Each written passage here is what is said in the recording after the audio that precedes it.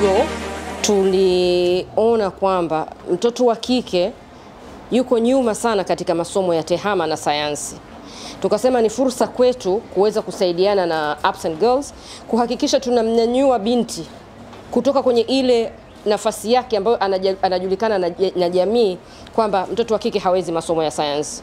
Tulikuwa tunaambiwa sisi tukitoka shule enzi zetu sisi ni tunaishia kuwa masecretary, tunaishia kuwa watu wa marketing, yani tehama ilikuwa sio masomo kwetu. Kwa hiyo tukasema this is the time Tigo tunaweza tukawanyanyua wasichana kutoka kwenye ile position ambayo ilikuwa imezoeleka na jamii na kuwafanya na wenyewe wawe wataalamu wa sayansi na tehama.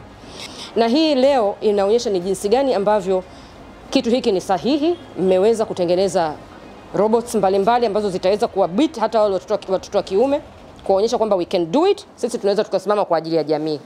Na ukiacha robots, nafikiri kuna applications ambazo zitakuwa pitch leo pia hapa, ambazo pia ni nyinyi kundi, makundi ya wasichana mmeweza kutengeneza.